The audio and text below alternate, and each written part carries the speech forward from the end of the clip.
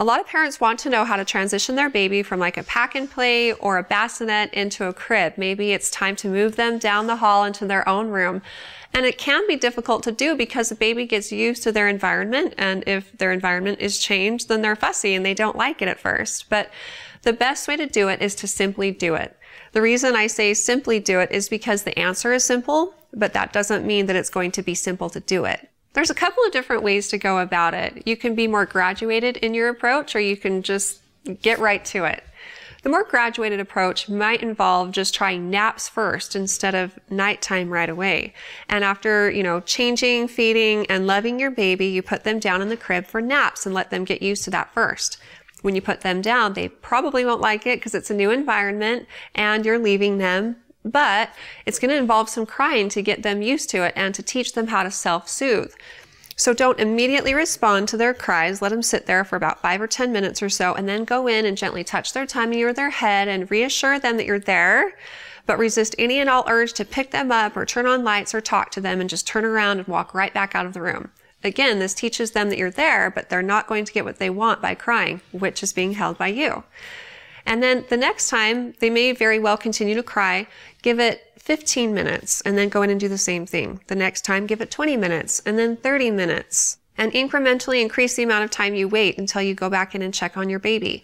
You have to be persistent and consistent about it for at least four to seven days. There's something special about a baby's brain and anything that you persistently and consistently enforce for about four days or so will be accepted by the baby as a new norm.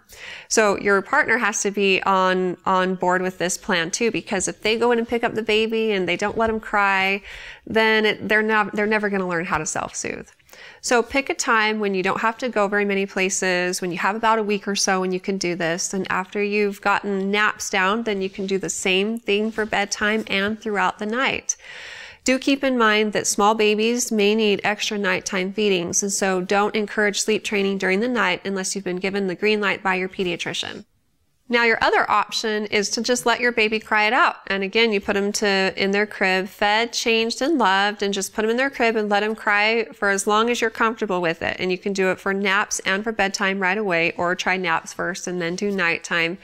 But some babies may cry for a couple of hours. And as long as your baby doesn't have any immediate needs, they're not sick, they're not in danger, it's okay to let them cry.